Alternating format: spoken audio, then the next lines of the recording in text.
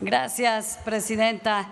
Compañeras y compañeros, toda esta larga jornada, las y los legisladores de oposición y muchos de los diputados oficialistas hemos coincidido en algo muy importante, que el acceso a la energía eléctrica es un derecho.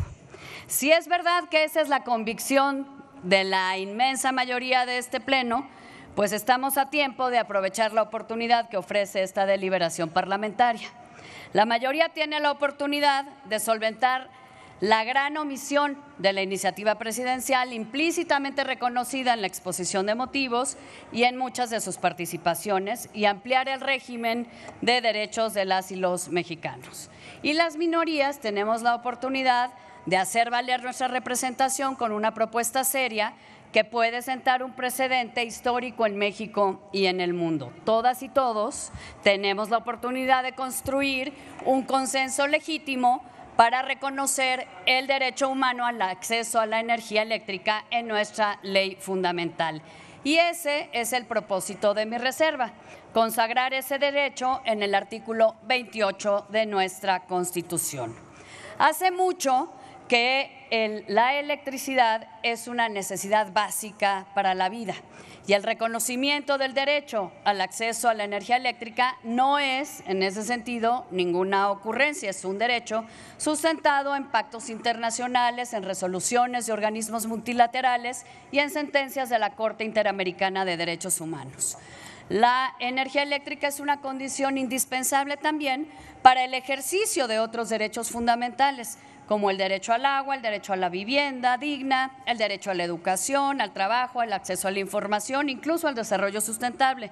Y acceder a ese servicio público debe ser un derecho garantizado por el Estado. Aquí se ha dicho una y otra vez todo el día.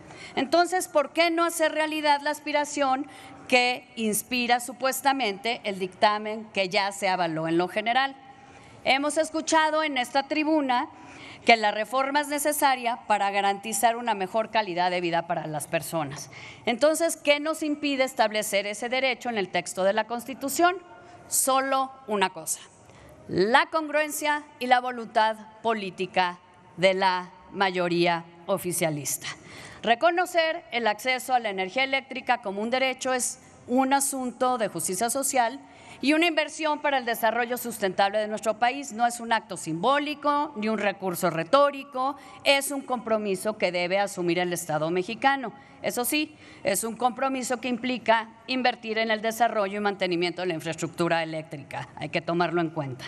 Honorable Asamblea, Reconocer explícitamente, explícitamente, este derecho es dar un paso firme hacia una sociedad más justa, más equitativa y más próspera, y hacia un país más responsable, sustentable y comprometido con los derechos de su población. Recordemos la invaluable contribución de México a la historia del constitucionalismo democrático como, democrático como precursor del reconocimiento, concluyo, Presidenta, de los derechos sociales, compañeros y compañeras de la mayoría.